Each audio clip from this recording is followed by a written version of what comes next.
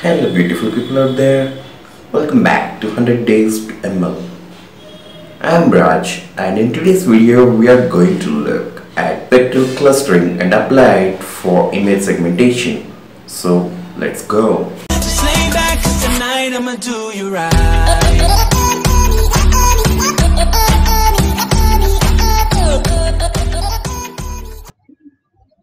Okay people, so let's see what spectral clustering is.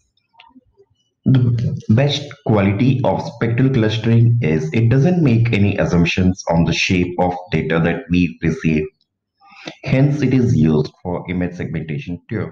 The work of spectral clustering is to create a similarity graph of all the data points and then it will join all the data points which is known as spectral embedding.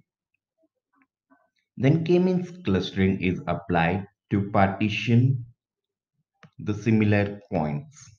To demonstrate spectral clustering, I am going to use an image of an apple and scale it so that we get faster convergence and here I have created the graph with beta being 5 epsilon spaces being 1 e minus 6 so the point should be so closer.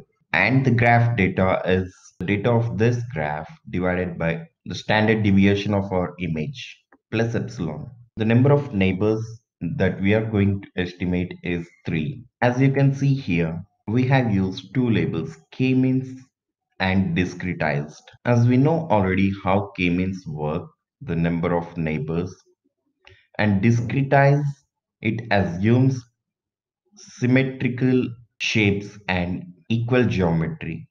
So if you see, k-means has worked better here on this image rather than the discretize. However, the one disadvantage of k-means is it varies as soon as the if we initiate with a random variable and the random variable changes the k-means clustering changes its structure.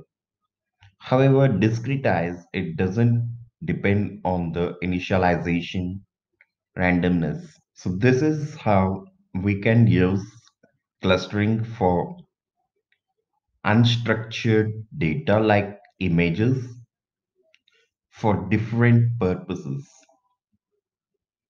Hope you guys like this video. Please click on the like button below. Share it with your friends who are interested to learn about machine learning. Subscribe my channel and comment your thoughts on this video. See you soon.